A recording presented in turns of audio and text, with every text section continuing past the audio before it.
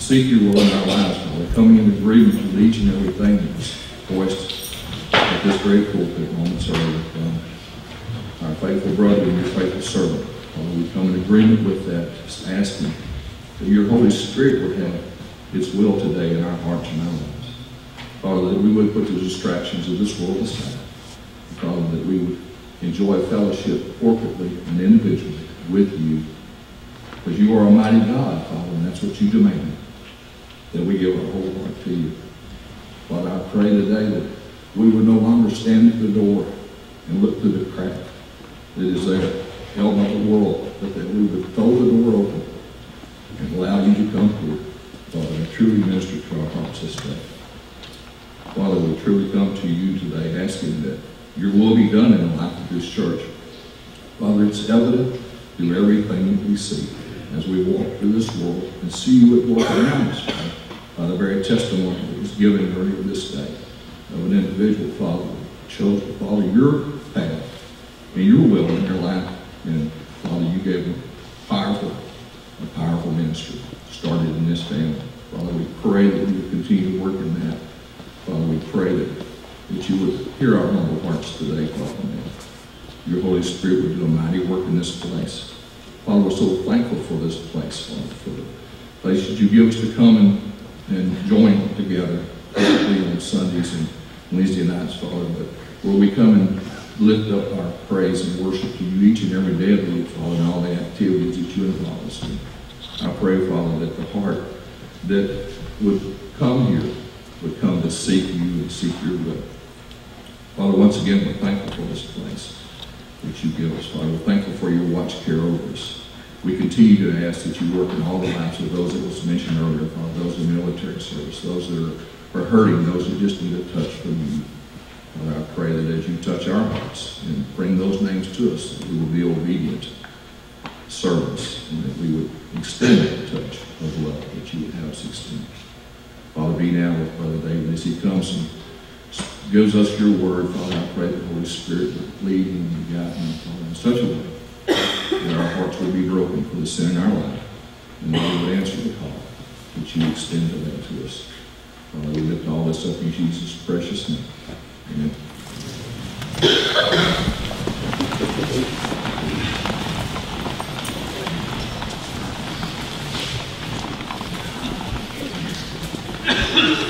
All right, boys and girls. Ready? You're gonna be shy today. So, yeah. There they go.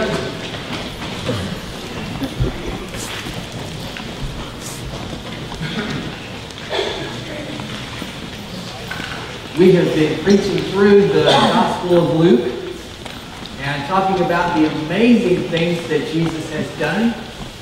And as we uh, look at our passages today, we're going to be seeing the world like Jesus. A, radical shift in priority is what we're talking about when we see the world like Jesus does. And so um, when you think about the last few decades, the 1990s were known as the decade of greed.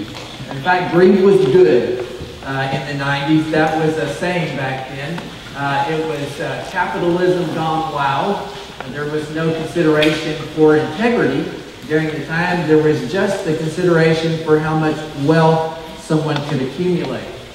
And as a nation, uh, we ultimately are suffering the consequences of all of the wrong choices that we make. And so today, as we look at Luke chapter 12, beginning in verse 13, we're going to get to look into a household crisis. Luke chapter 12, verse 13.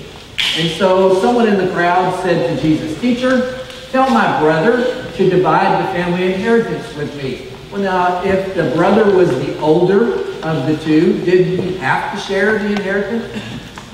No, he didn't. That was Jewish law. He didn't really have to.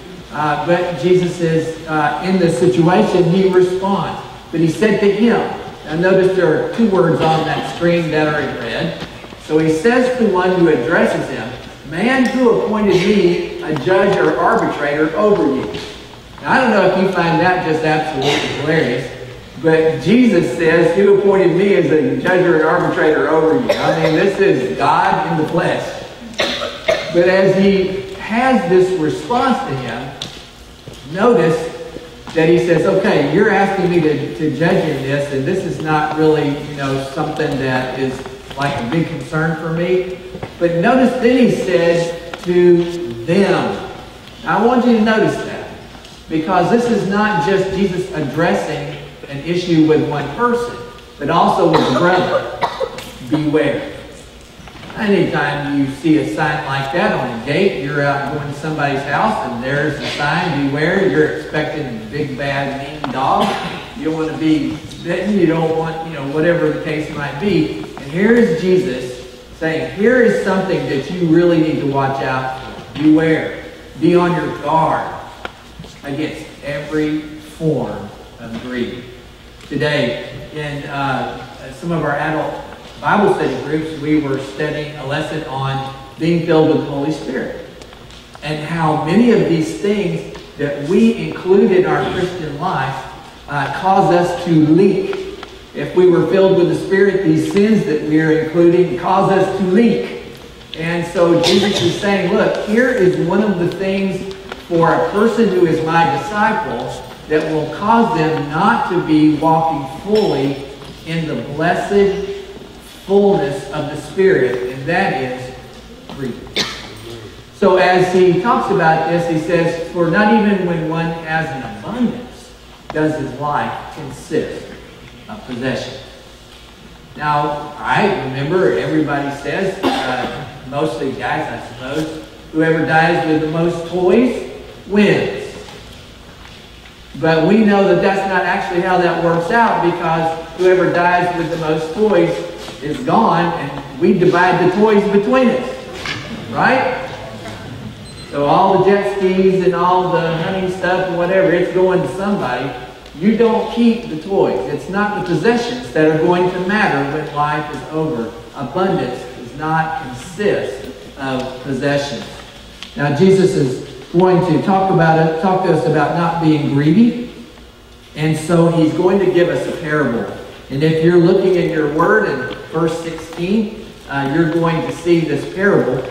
The land of a rich man was very productive. Is there anything wrong with that? No. And he began reasoning to himself, saying, What shall I do since I have no place to store my crops? Is there anything wrong with that?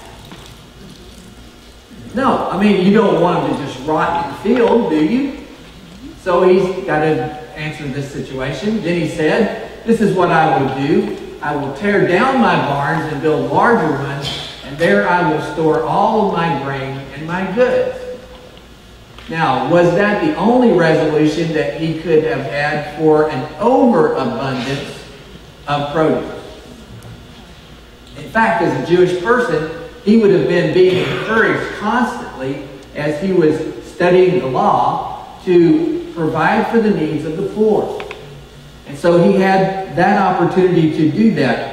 Well, notice that he goes a little further and not only tells us what his external plan is going to be, as he perceives his situation, and his worldview says, I've got more than I can possibly use, so I need bigger storage spaces. And all of a sudden I'm going, yeah, that means I've got a house full, and now I have a storage building, and a shop, and a garage, and, and it keeps getting bigger and bigger. You know, do I need all this stuff? Are all of these things, these possessions, what life is about? And so we get to look inside of his soul in verse 19. I will say to my soul, Soul, that's interesting. You have many goods laid up for many years to come. Take your ease. Eat, drink, and be merry. By the way, you'll see a lot of Christian uh, um, Christmas decorations uh, that have that phrase on this year: "Eat, drink, and be merry." Not this passage, but another passage says that it goes on. God says, "Well, that eventually will come up here." Uh, eat, drink, and be merry, for you'll die. You're about to die. You know, to eat, drink, and be merry, and to just focus on that is taking our eyes off of eternity. God said to him, You fool. Is that something that, you know, we like to hear? That we're making foolish choices? But that's what God said. This very night your soul will be required of you. Now who will own what you have prepared? So is the man who stores up treasures for himself, comma, and is not rich toward God. Okay, is there a problem with storing up treasure to a degree? The Bible doesn't have a problem with that at all. What it does have a problem is, is that we're storing up treasures far beyond anything we could possibly ever use while not recognizing the needs around us or being concerned about the spiritual matters, the eternal matters, the things that matter to God. That's the very circumstances we often find ourselves in. In verse 22, Jesus is then going to explain this further. He says to his disciples, For this reason I say to you, do not worry about your life as to what you will eat, nor your body as to what you will put on, for life is more than food, the body more than clothing. Consider the ravens, for they neither sow nor reap. I know some of y'all may be thinking about them, but I don't think they're going to make the playoffs, so just let that go.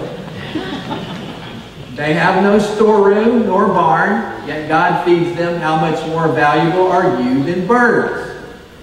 And so as you look at this passage, uh, you could get uh, possibly uh, a thought that, you know, what is Jesus saying about life? Do not worry about your life. As to what you will eat, your body, what you'll put on. I think what that means is I'm not going to go to work anymore. Because God is just going to provide it. He knows I need food and He knows I need clothes. And so, by the way, uh, honey, I'm not going to the grocery store anymore. Uh, I'm not going to worry about that stuff. Uh, what I'm going to eat. Uh, certainly, you know, God is just going to show up with, I don't know, Domino's pizza tonight or something. Just going to arrive. And yet we would say, no, that's foolish to say that God would not expect us to work. But what is he saying? Do not worry about your life. So, how much time do we spend worrying about things that may never come to pass, having all kinds of uh, concerns about things that uh, certainly may uh, be issues for some people in the world, but not really too much of an issue in the United States of America, where there are, though there's hunger, many resources and many places to go to provide help. That Jesus is not speaking to people in the United States of America alone when he says this. It doesn't matter where you are in the world. The point is not to worry. Well, if I'm not going to worry, preacher, give me something to do. Well, what should we do? If we're not going to worry, uh, then we're going to pray. And we're going to follow the will of God and the leading of the Holy Spirit in our life. So Jesus says, uh, the ravens, they don't plant, they don't reap, they don't have storerooms or barns. God feeds them. Are you more valuable than birds? If Jesus is not saying that we shouldn't work, then what is he saying with all of these passages? This is important for us to understand. So as you look at that,